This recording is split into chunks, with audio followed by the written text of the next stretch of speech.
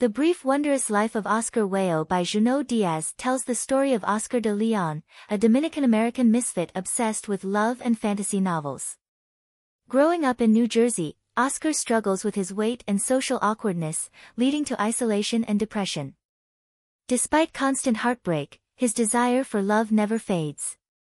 His college roommate, Yunior, narrates Oscar's life while also revealing his family's tragic history under the Dominican dictator Trujillo.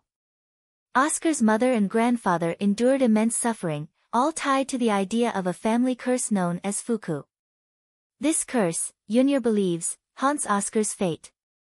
After years of rejection, Oscar falls for Ybón, a woman in the Dominican Republic, but this love turns dangerous.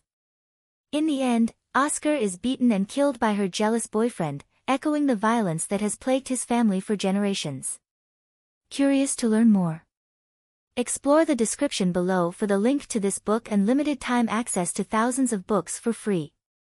Stay updated with our latest content and promotions by subscribing to our channel.